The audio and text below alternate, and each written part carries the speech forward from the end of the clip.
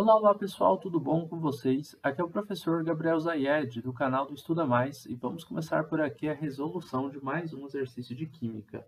Mas antes, não esqueça de se inscrever aqui no nosso canal no YouTube e de deixar um like nesse vídeo caso você goste do nosso conteúdo. Bom, vamos à resolução dessa questão que diz o seguinte.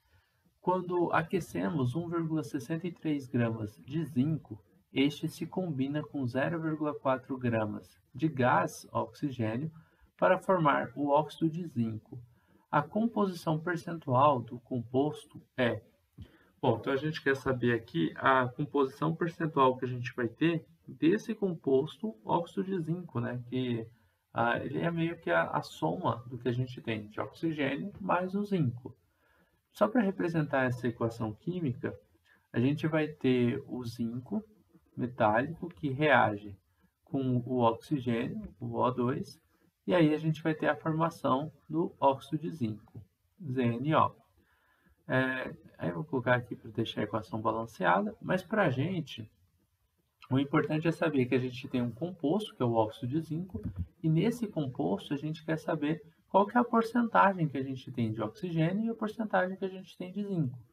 Se a gente analisar o composto em si, o óxido de zinco, a gente tem zinco e oxigênio dentro dele. O zinco, se você for até a tabela periódica para pegar a massa que você tem do zinco, você encontraria, por exemplo, a... na, na verdade essa questão em si a gente não precisa nem fazer com, com dados de tabela periódica, tá?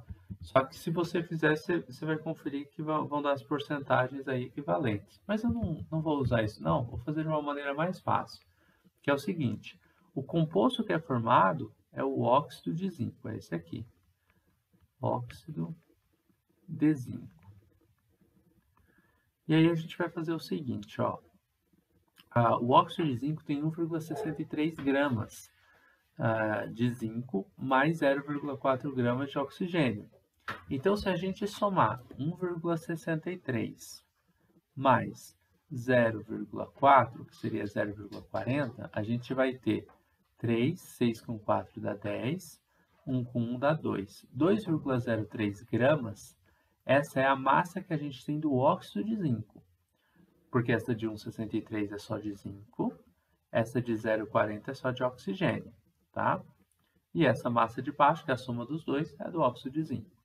Aí você vai fazer o seguinte, você vai falar que 2,03 gramas de ZNO é toda a massa que você tem do seu composto. Então, é 100% da massa do composto.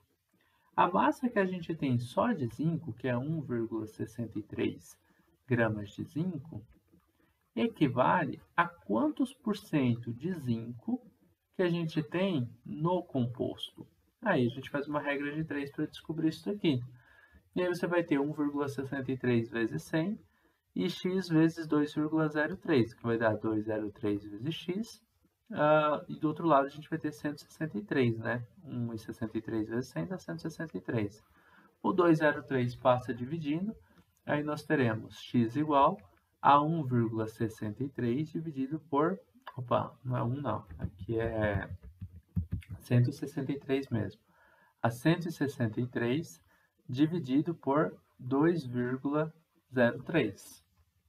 X, nesse caso aqui, ó, fazendo essa divisão de 163 por 2,03, a gente chega em 80,29.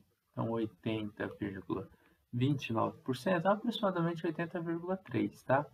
Por cento de zinco é a porcentagem que a gente tem dele. Agora a gente vai fazer o mesmo cálculo, só que para o oxigênio. Então, eu vou falar aqui, ó, 2,03 de óxido de zinco é 100% da nossa mistura. A, massa de oxigênio, que é de 0,4 ou 0,40 gramas de oxigênio, equivale a x% de oxigênio. Regrinha de 3 vai dar 2,03 vezes x igual a 40%. 203 passa dividindo, x vai ser igual a 40. Ah, tira esse porcento aqui, na verdade não tem porcento aqui não. É que eu fiz o 0,40 vezes o 100%, mas esquece da, da porcentagem aqui, tá? Porque eu não estou colocando do outro lado para cortar uma com a outra, então vou deixar 100. Vai dar 40 dividido por 2,03.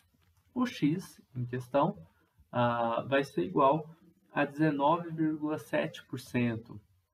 Ah, na verdade, é aproximadamente 19,7% mesmo. Eu arredondei aqui, né? Vamos deixar aqui também 19,7% de oxigênio. De oxigênio. E pronto.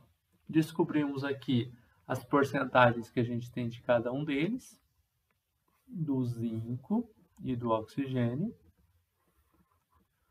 Agora, deixa eu ver se a questão pede a alternativa, né? 80,3 de zinco, 19,7 de oxigênio. Letra B vai ser a alternativa correta para essa questão. Basicamente é isso, nós terminamos aqui a resolução de mais um exercício de Química. Eu espero que vocês tenham gostado dessa videoaula, espero que tenham compreendido passo a passo a resolução dessa questão. Se você gostou do vídeo, não esqueça de deixar um like aqui e de compartilhar o link dessa aula em suas redes sociais para que seus amigos também possam conhecer o canal do Estuda Mais. A gente vai se ver numa próxima aula. Forte abraço e tchau, tchau!